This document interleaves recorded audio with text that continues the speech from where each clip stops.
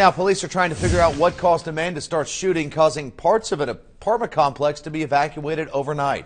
4029's Brittany Bell is live this morning with more on what we know so far. Brittany? I'm live in front of the Links in Lowell, where not too long ago, police, uh, negotiators, and even the SWAT team were called out here just after a resident reported a gunshot going off.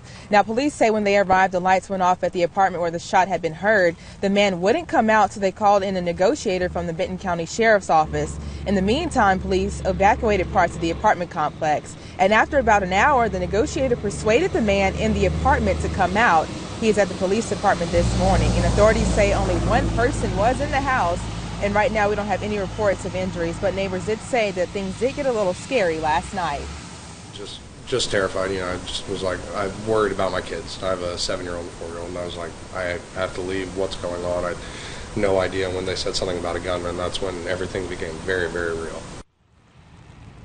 Now, police. Now, the suspect was questioned at the Lowell Police Department, and police are also waiting on the search warrant to look inside the apartment. Live in Lowell, Brittany Bell, 4029 News. Brittany, thank you. And police say it is standard procedure to call in the SWAT team anytime there is an armed suspect.